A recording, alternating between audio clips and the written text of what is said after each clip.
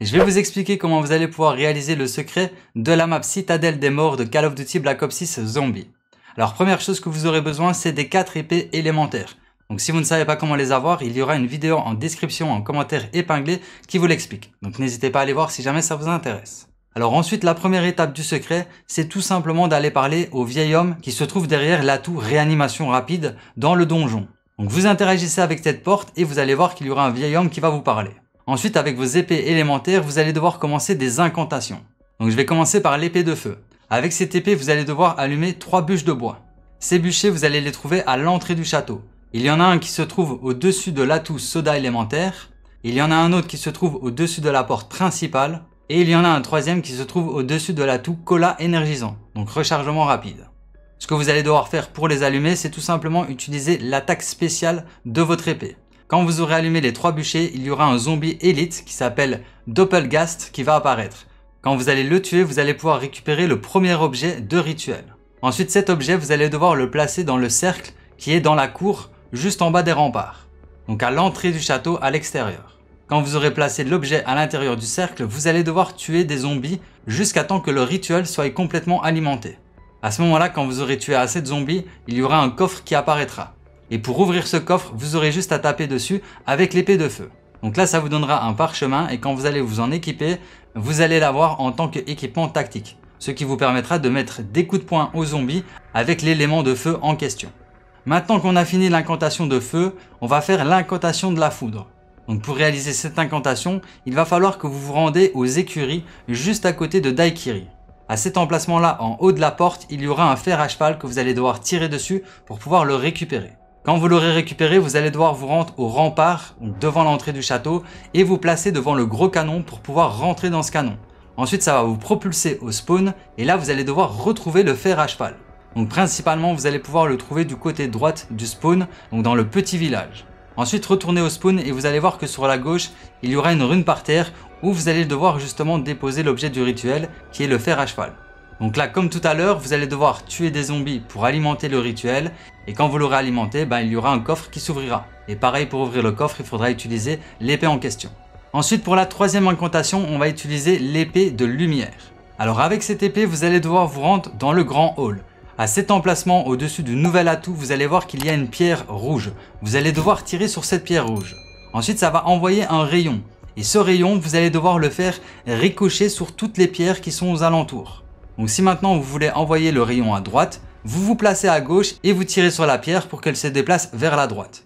Si vous voulez qu'elle se déplace vers la gauche, ben, vous vous placez de l'autre côté et vous tirez sur la pierre. Ensuite, quand vous aurez réussi à relier toutes les pierres, il faudra diriger une dernière fois le rayon sur la table qui se trouve au laboratoire d'alchimie. Quand vous aurez fait cette étape, vous allez pouvoir récupérer le troisième objet de rituel. Cet objet de rituel, vous allez devoir l'amener sur la rune qui se trouve dans le grand hall et vous allez devoir, comme d'habitude, faire des éliminations pour faire apparaître le coffre. Ensuite, la quatrième incantation, elle se passe avec l'épée des ténèbres. Avec cette épée, vous allez devoir vous rendre aux oubliettes, donc juste derrière le pack à punch. À cet emplacement-là, vous avez une bouche d'égout que vous allez devoir utiliser. Et au bout de ce raccourci, vous allez voir qu'il y aura un corbeau sur une petite pierre. Ce que vous allez devoir faire, c'est tout simplement réussir à lui tirer dessus. Quand vous aurez réussi, vous allez voir que le corbeau va s'envoler, donc quand vous arrivez au spawn, vous regardez en l'air et là vous allez tirer justement sur ce corbeau. À ce moment-là, le corbeau va vous laisser tomber une patte qui est le quatrième objet du rituel. Donc maintenant, vous allez devoir vous rendre dans les souterrains et plus précisément à la crypte. Dans cette crypte, vous aurez une rune au sol où vous allez devoir placer justement cet objet de rituel. Et comme d'habitude, vous allez devoir l'alimenter en tuant des zombies aux alentours et pouvoir faire apparaître le coffre. Quand vous aurez réalisé ces quatre incantations, il y aura un mur que vous allez devoir casser avec l'atout corps à corps accru. Ce mur se trouve dans la crypte, justement où vous avez réalisé la rune de l'épée des ténèbres. Donc juste à côté, vous avez un mur et là, vous allez devoir détruire ce mur. Ensuite, derrière ce mur, vous aurez plein de petits symboles. Ce que vous allez devoir faire maintenant, c'est de vous rendre dans la taverne. Dans cette taverne, il y aura six fioles avec des chiffres romains et des symboles. Ce que vous allez devoir faire, c'est d'interagir avec les six fioles pour voir les six symboles. Ensuite, vous allez devoir mémoriser les symboles. Donc, ce que je vous conseille, c'est de noter le symbole numéro 1, ça ressemble par exemple à une antenne. Ensuite, le symbole numéro 2, ça ressemble à un rond barré. Ensuite, le symbole numéro 3, ça ressemble à une horloge, etc., etc. Quand vous avez tout noté, vous retournez dans la crypte, justement là où vous avez tous les symboles et que vous avez détruit le mur. À ce moment-là, vous allez devoir tirer sur les symboles dans l'ordre que vous les avez notés grâce au filleul. Alors faites attention parce que plus vous allez avancer dans les symboles, plus le changement des symboles vont être très rapides sur le mur. Donc quand vous aurez réussi à tirer sur tous les symboles dans le bon ordre, là vous aurez terminé cette étape et ça va vous ouvrir un petit mur juste à côté avec un livre. Maintenant ce que vous allez devoir faire c'est justement trouver des fragments de pages de ce livre. Alors ces fragments de pages, vous allez les trouver principalement dans le salon. Donc il y a plusieurs emplacements, ça spawn un peu aléatoirement, mais dans le gameplay je vous montre justement où j'ai trouvé mes quatre emplacements.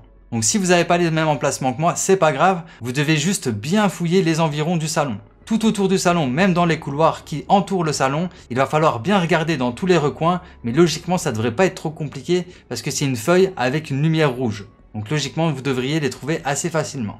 Alors pour vous aider, je vous ai ping aussi quatre autres emplacements que j'ai vus dans la vidéo de Noaji. Donc au cas où si vous n'avez pas les quatre mêmes emplacements que moi, bah, vous avez peut-être les quatre mêmes emplacements que Noaji. Alors ensuite, quand vous avez récupéré ces quatre fragments de page, vous allez devoir retourner près du bouquin qui se trouve dans la crypte et les placer. Ensuite, vous allez voir que les symboles vont se placer dans un certain ordre. L'ordre est très important parce que c'est l'ordre que vous allez devoir activer des pièges et tuer des zombies à l'intérieur de ces pièges.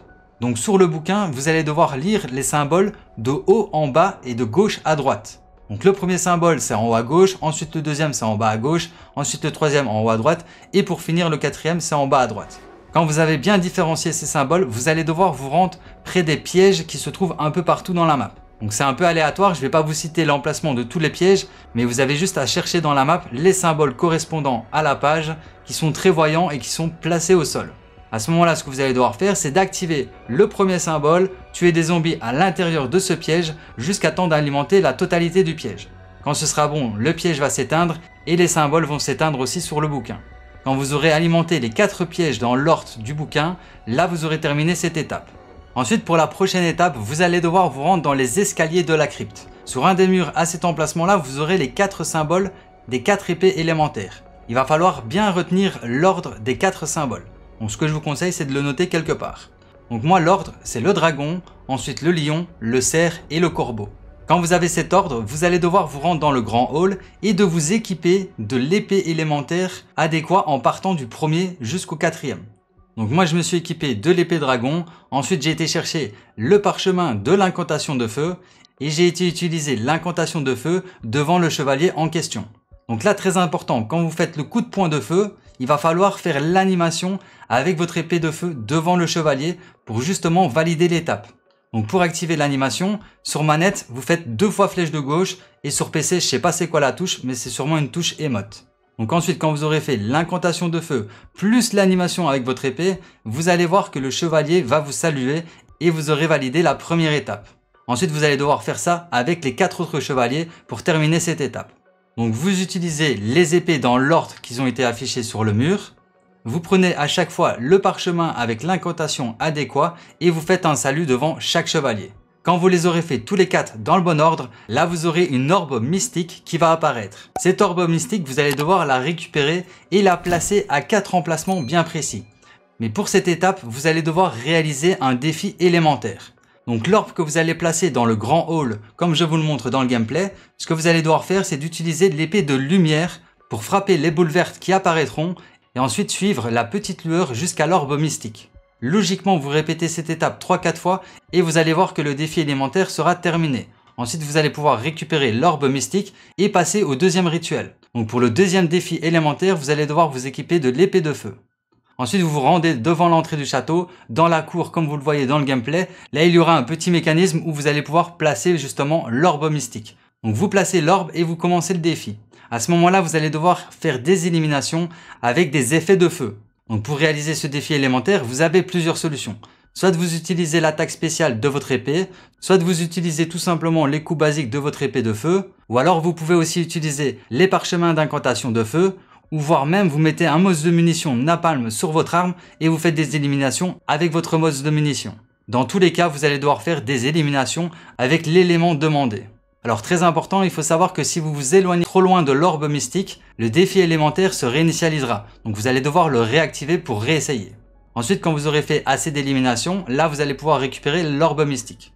La prochaine étape, elle se passe au spawn. Donc à gauche du spawn, vous allez pouvoir placer l'orbe mystique. Et là, c'est pareil. Vous allez devoir faire des éliminations avec soit le mode de munition câble HS, l'épée de foudre ou alors les incantations de foudre. Quand vous aurez fait assez d'éliminations, vous allez pouvoir récupérer l'orbe mystique. Et la quatrième et dernière incantation, elle se passera dans la crypte.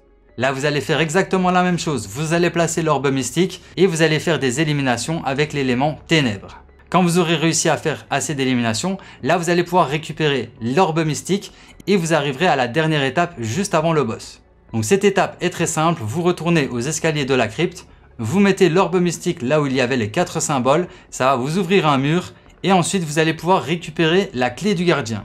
Quand vous avez cette clé, je vous conseille de vous préparer un maximum parce que vous allez passer au combat de boss. Donc quand vous êtes full stuff, là vous vous rendez au spawn, vous mettez la clé du gardien devant la statue du gardien justement, et ensuite si vous êtes plusieurs joueurs, il faudra tous accepter le combat de boss. Quand vous aurez accepté le combat de boss, là vous aurez une petite animation où vous allez voir que la statue va prendre vie et va vous frapper. À ce moment-là, vous allez être téléporté dans une salle et le combat de boss va commencer. Alors pour ce combat de boss, il n'y a pas vraiment d'étape à suivre. Vous avez juste à focus un maximum le boss et à focus un maximum ses points faibles quand ils apparaîtront. Et bien entendu, par la même occasion, vous allez devoir survivre aux zombies. Alors ce que je peux vous conseiller si vous avez le nouvel atout, c'est de tuer justement les zombies pour pouvoir récupérer des plaques d'armure en illimité. Et par la même occasion, faire un maximum de points pour pouvoir acheter des munitions. Donc voilà, en soi, vous allez devoir focus le boss, faire attention aux attaques du boss, donc essayer d'anticiper ses attaques. Au début, ça va être un peu compliqué, mais quand vous allez connaître les attaques du boss, vous allez pouvoir les esquiver. Et quand vous aurez réussi à l'éliminer, bah là, vous aurez terminé le secret.